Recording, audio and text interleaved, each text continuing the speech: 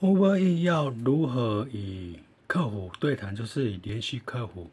好，那首先就是这三条线，哈，这有三条线，按下去，好来，然后你会看到下面一个帮助，哦，就看帮助，帮助按下去，好，帮助按下去有这些东西，才刚所有行程，还有很多的问题，那我们就选择，因为我们大部分跑会有一个就叫行程相关协助，按行程相关协助。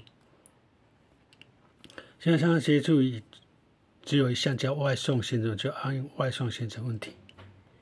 好，而这里有外送很多个问题，什么偶尔外送什么，还有一些很多奇奇怪怪的问题哈。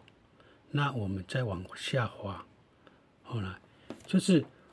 找到最下面一个，我有线上订单需要协助，好，所以说我们现在先订单，你等一下输入的时候输入五五码，就是全部的，不是三个后上是整个五码，好，一项按下我有线上订单需要协助，好，过来就是他会写的很多东西，好，那你等一下自己看，好，再往上，往上，往上，往上往。上。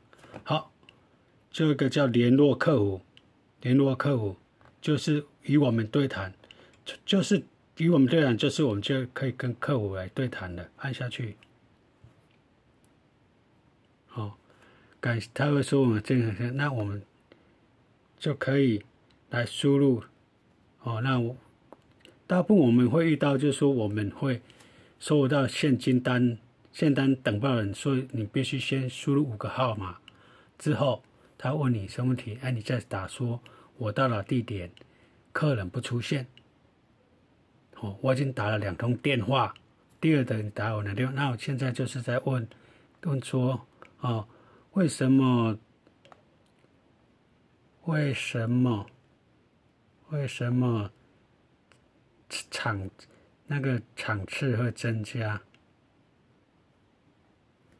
场次，场次，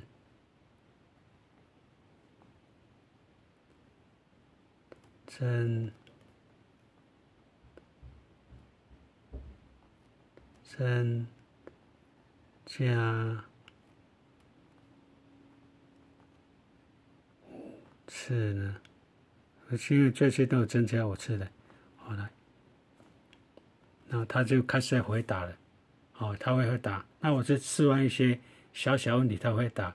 哦，他说啊，谢谢你，下一次有空哦。就是这个，这个就是这样，就是刚才那样，就是直接与客户联络。哦，就是就是这样方式。